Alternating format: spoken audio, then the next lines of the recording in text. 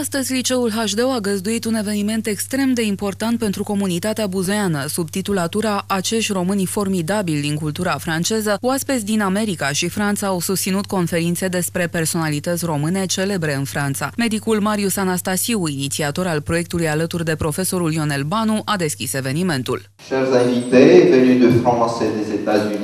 Dragi invitați, veniți din Franța, din Statele Unite și din Iordania, căci acum avem și un invitat care a sosit în această dimineață. Dragi profesori și elevi, dragi colegi și participanți, bună ziua!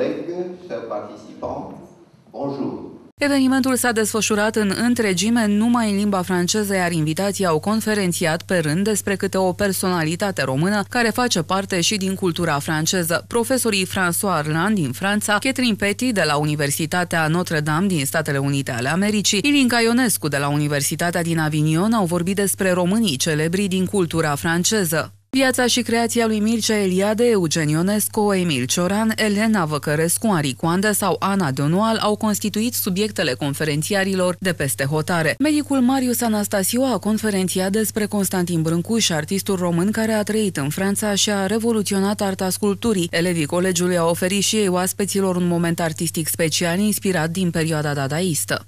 Je suis petit, je suis comme vous tous.